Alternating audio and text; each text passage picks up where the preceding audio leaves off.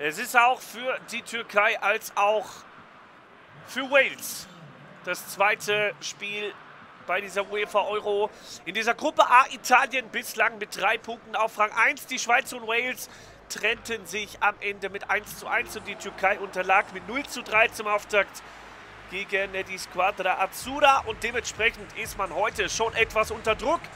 Es sollte ein Sieg gegen diese Waliser her. Es sollte ein Sieg am heutigen Tage für die Türkei am Ende zu Buche stehen. Wenn das klappt, dann hat man eine gute Möglichkeit, ins Achtelfinale einzuziehen. Sollte das nicht klappen, wird es richtig schwer mit zwei Niederlagen entsprechend in Folge. Aber noch ist nichts gespielt. Und das bedeutet, hier ist alles offen für beide Teams.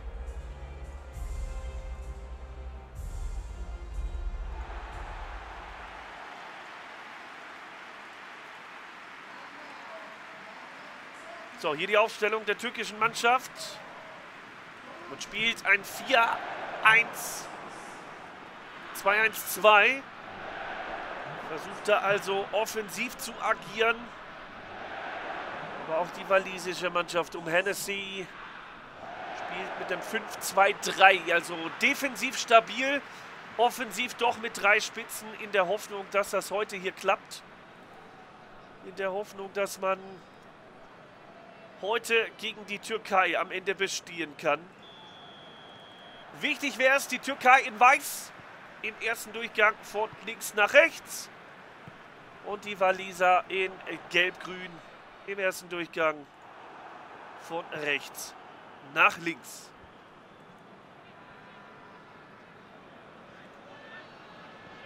Für beide ist es natürlich auch so ein Spiel der Entscheidung. Wenn auch Wales heute verliert, dann auch das, möglicherweise das Aus bei dieser UEFA Euro. Trotz könnte man noch auf vier Punkte kommen. Allerdings die letzte Partie spielt man gegen Italien und die haben hervorragend begonnen. Das macht die ganze Sache natürlich nicht einfach.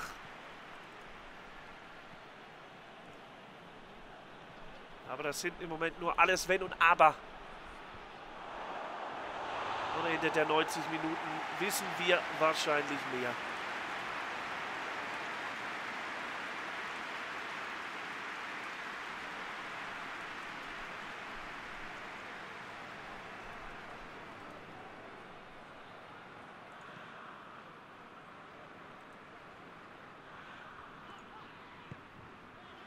Celik. Shalanulu. Tufan. Wieder Celik. Jetzt mal Platz auf der rechten Seite. Zehnte Minute. Die Türkei mit der Chance. Erstes Mal annähern in Richtung Hennessy. Richtung Keeper. Der Waliser und der hält da den Fuß hin. Und das war ja unglaublich was der hier macht.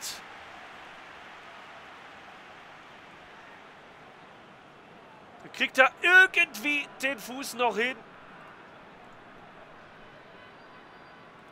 Und so bleibt's beim 0 zu 0.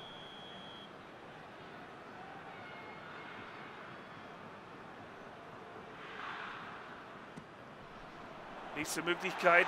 Ecke nicht ganz so gut ausgeführt von der türkischen Mannschaft. Ball erstmal wieder aus der Gefahrenzone heraus.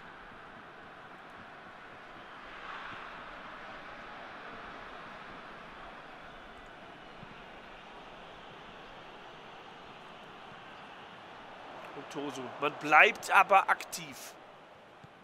Bleibt bislang in dieser ersten knappen Viertelstunde die deutlich aktivere Mannschaft. Bringt da deutlich mehr Druck aufs Tor. Chalanolu, da ist Yilmaz und wieder ist es Hennessy, der auch diesen Ball parieren kann. Und es bleibt auch in dieser Situation beim 0 zu 0 aktuell.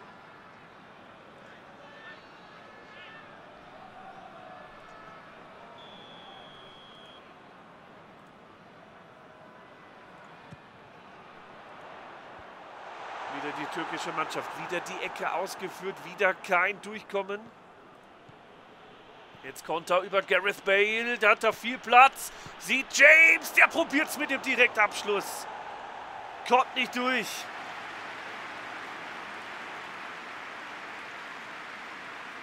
Und jetzt aber auch mal der Ansatz seitens der Waliser mit der Gelegenheit zur Führung zum 1 zu 0.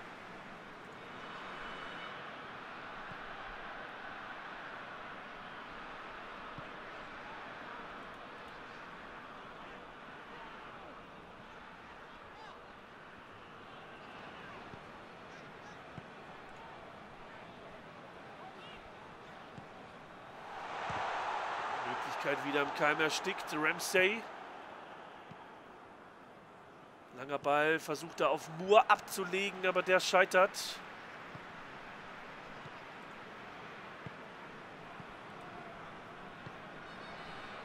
Ja, ab und an kommt man auf walisischer Seite mal raus, aber das ist nicht zwingend. Das ist bislang nicht ausreichend. Also man überlässt den Türken schon weite Strecken des Feldes. Das gilt es hier unbedingt zu vermeiden. Moore jetzt auf Allen. Der kommt mit dem Ball nicht durch.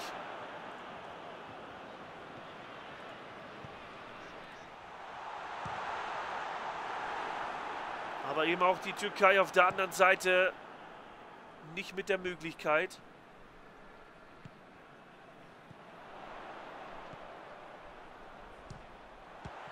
Und ein hoher Ball, auch der nicht sonderlich gefährlich.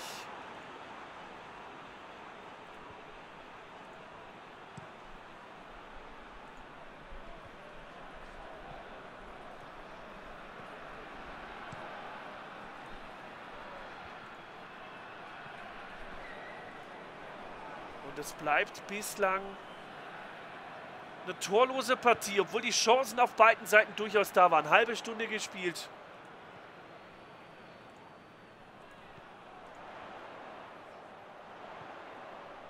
Kavici. Jetzt vielleicht für Yilmaz wieder der Block.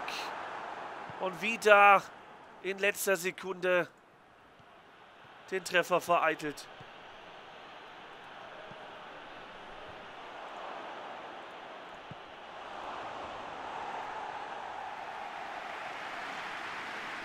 Zu sehen. Gareth Bale, der Kapitän der Waliser, mit der hohen Flanke und dann der Möglichkeit für James. Aber auch da der Ball viel zu hoch, als dass er dem Keeper gefährlich werden könnte.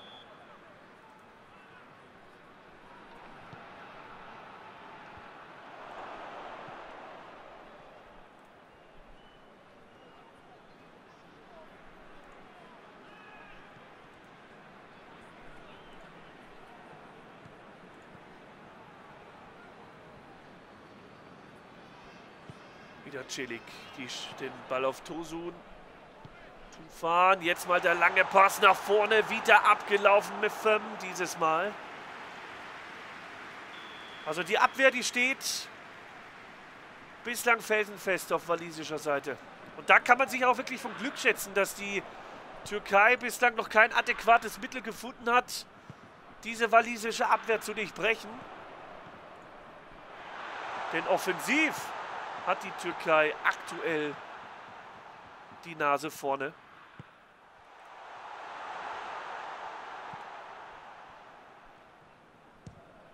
Nächste Möglichkeit, wieder Hennessy.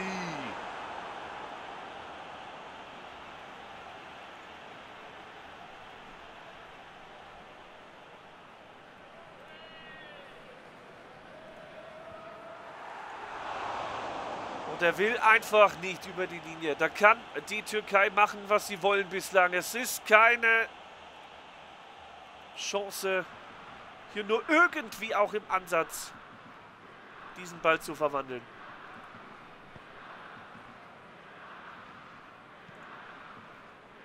Es laufen die letzten fünf Minuten der ersten Hälfte.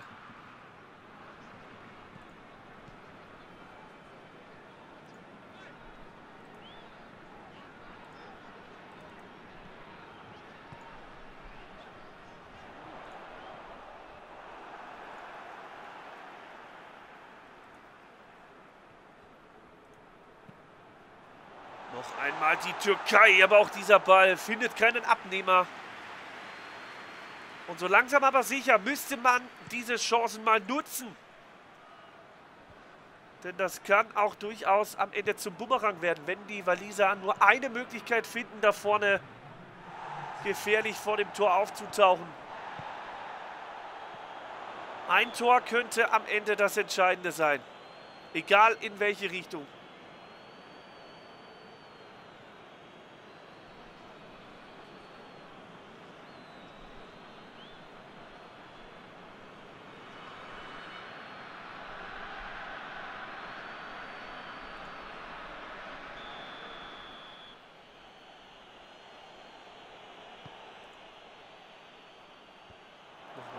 Chance für die Waliser, aber gut verteidigt.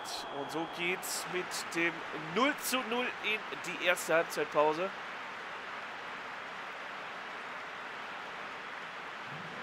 Und ich bin weiterhin gespannt. 3 zu 8 die Schussstatistik aus Sicht der Waliser. Also da kommt deutlich mehr von der türkischen Mannschaft.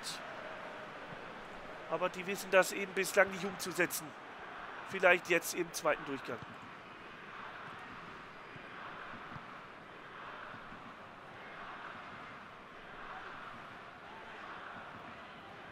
Wieder Kavici.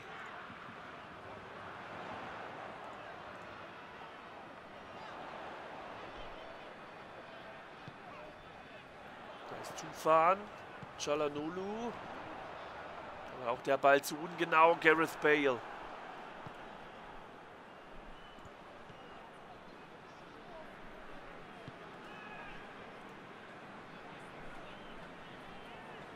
Aber es wirken tatsächlich beide Mannschaften, als wüssten sie genau, dass man hier und heute drei Punkte braucht. Und das steckt in den Köpfen drin bei beiden Teams.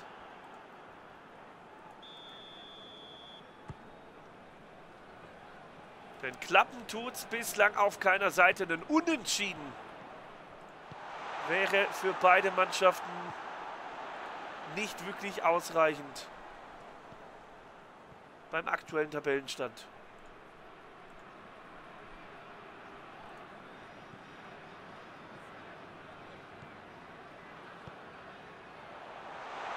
Aber jetzt die Gelegenheit am Tor wieder vorbei. Und mit jeder Minute steigt natürlich auch die Nervosität. Mit jeder Minute, die man eben keinen Treffer macht, wächst diese Unsicherheit über eine mögliche Achtelfinalteilnahme bei dieser EM. Wieder Chilik. Jetzt kommt der Ball wieder rein, wieder rausgeköpft. Wieder grandios verteidigt. Vorne der walisischen Hintermannschaft.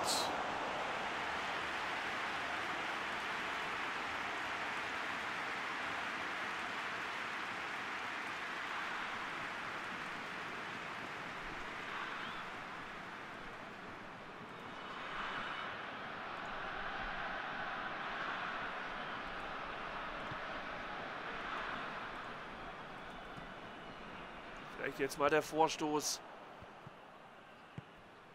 der Gelb-Grünen, aber auch hier zu behäbig. Und da steckt heute überhaupt kein Selbstvertrauen drin.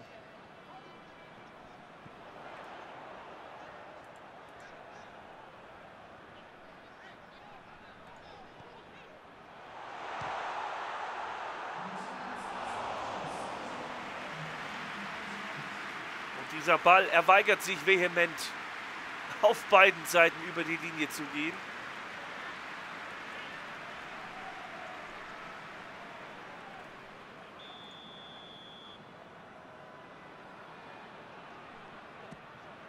Jetzt vielleicht die Flanke der Türkei. Auch hier wieder im Ansatz nicht durchgekommen. Kontermöglichkeit jetzt für James. Mit dem Ball auf Allen, aber auch hier zu ungenau.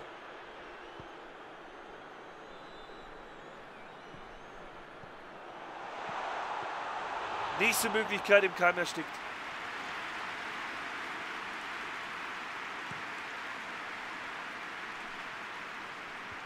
Wird das hier ein torloses 0 zu 0? Diese Frage, die kann man sich schon mal stellen, jetzt nach 65 Minuten. Und die ja, Anzahl der Chancen, die waren da, definitiv.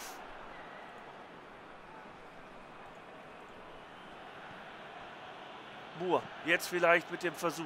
Weicht auf die Außen. Davis. Wieder auf Ramsey, James. Hoher Ball. Und da ist es! Das ist genau das, was man auf türkischer Seite so zwingend hätte vermeiden müssen. Die Türkei mit den immensen Chancen, aber die Waliser mit dem Tor, mit dem 1 zu 0 in dieser Partie.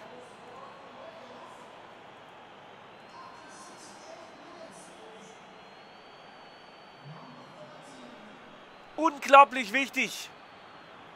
Und da kommt Mua frei zum Kopfball.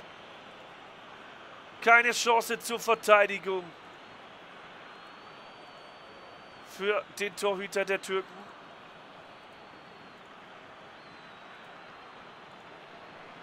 Und jetzt bin ich gespannt. Hat man jetzt möglicherweise die Büchse der Pandora geöffnet? Kommt da jetzt vielleicht auch was seitens der Türkei?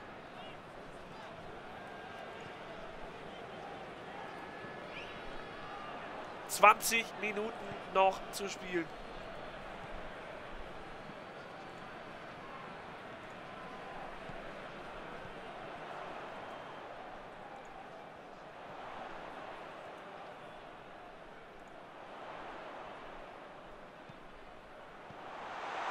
wieder eine Möglichkeit, aber die relativ ungefährlich.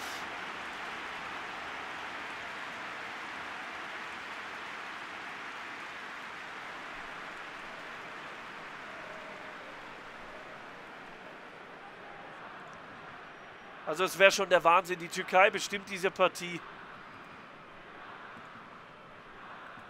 Aber Wales macht diesen Treffer.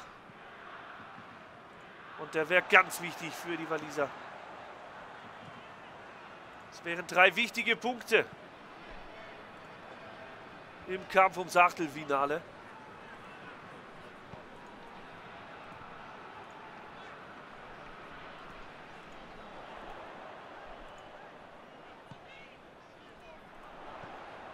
Aber noch ist nicht alle Tage ab. Kavici wieder geblockt, wieder kein Durchkommen.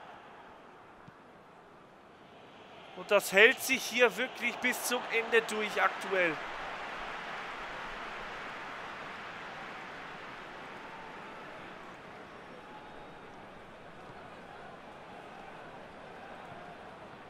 letzten zwölf Minuten laufen. Jetzt mal die Flanke. Jetzt die Möglichkeit und der ist drin. Da ist er endlich, der Ausgleich für die Türkei. Ganz wichtiges Ding. Den hatte man so dringend gebraucht, diesen Treffer. Aber auch da war jede Menge Glück dabei. Aber sei es drum. Am Ende zählt nur der Treffer. Am Ende zählt das Ergebnis. Und das war so wichtig.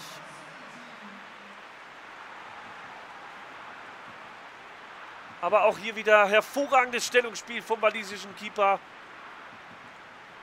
Und das war Wayne Hennessy, der 34-Jährige, der da mit allen Mitteln versucht gegenzuwirken.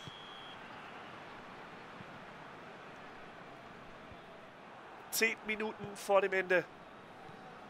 Ausgleich für die Türkei. Söyüncü, Shalanolu, Tosun. Wieder auf Tufan. Celik, jetzt vielleicht das notwendige Selbstvertrauen, diese Partie zu drehen. Hier noch den alles entscheidenden Treffer zu erzielen. Möglich wäre es. Unmöglich ist es hier tatsächlich nicht. Jalanolu, aber der zu weit daneben.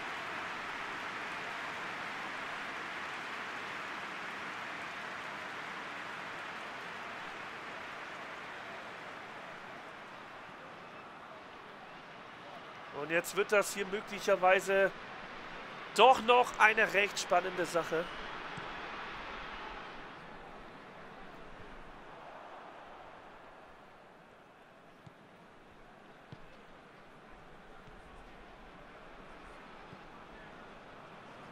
Chalanolu.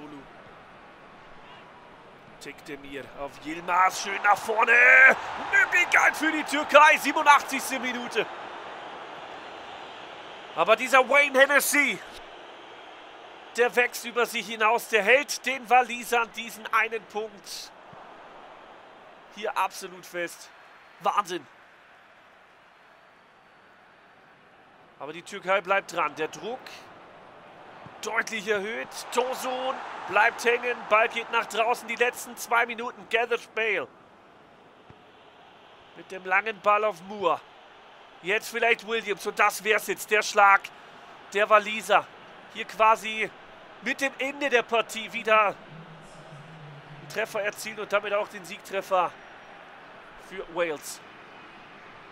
Man hält den Ball sehr weit, sehr lang vorne mit drin. Zwei Minuten Nachspielzeit. Man ist hier ja so ein Ticken festgefahren. Jetzt kommt der Kopfball. Allen. Ball ist noch heiß. Ramsey, der nimmt Maß und der scheitert. Und das weiß er selber, wenn er den macht. Dann ist dem Jubel hier keine Grenzen gesetzt. Das ist unglaublich. Zuvor die Türken in der 87. Und hier hat Ramsey den Siegtreffer quasi auf dem rechten Fuß. Aber Mert, der hält dieses Ding hier fest. Letzte Möglichkeit. Eckball Wales. Kopfball geklärt. Aber der Ball noch heiß und jetzt dürfte es das Ende sein. Also, Wales und die Türkei trennen sich hier mit 1 zu 1. Das war wirklich eine hitzige Partie. Nur in der 69. Yilmaz in der 80. sorgen dann also für dieses Unentschieden, was beiden nicht so wirklich hilft. Aber wir gucken mal, wie es weitergeht. Heute gibt es noch eine weitere Partie, nämlich Italien gegen die Schweiz. Daumen hoch, würde mich freuen. Ansonsten sage ich danke fürs Zuschauen. Bis zum nächsten Mal. Euer Bloody LP.